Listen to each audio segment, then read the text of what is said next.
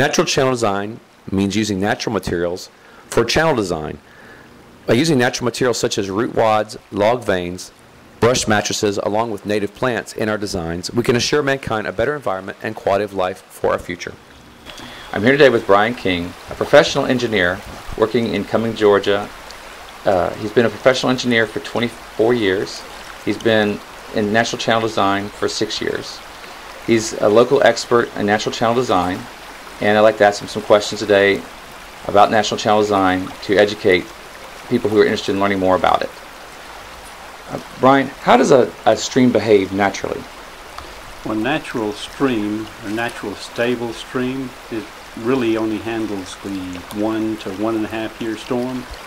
Uh, and at that stage it is connected to the floodplain. Uh, what are some of the problems that occur to require natural channel design? Uh, development these days has uh, forced our streams to handle higher and higher flows and these streams have been encroached on and their floodplains have been reduced with the development of subdivisions, shopping centers. So the stream no longer has access to a floodplain and with that the stream is forced to carry the high flows causing the stream to become unstable and highly eroded. Where did natural channel design come from?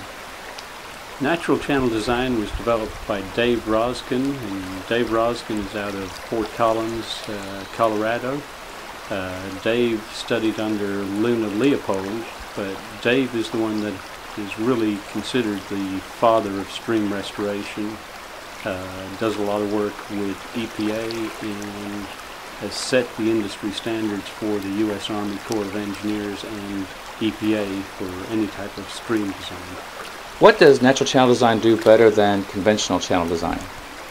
Conventional engineering has, uh, for years and years, just forced all of the stormwater to the streams and then does not worry about the effect of the higher flows, higher velocities downstream, whereas natural channel design uh, looks at putting the these excessive flows back into a floodplain uh, it incorporates the entire ecosystem and provides more habitat in the stream, uh, removed away from the riprap and concrete repairs to handle these flows by incorporating the floodplain into our designs.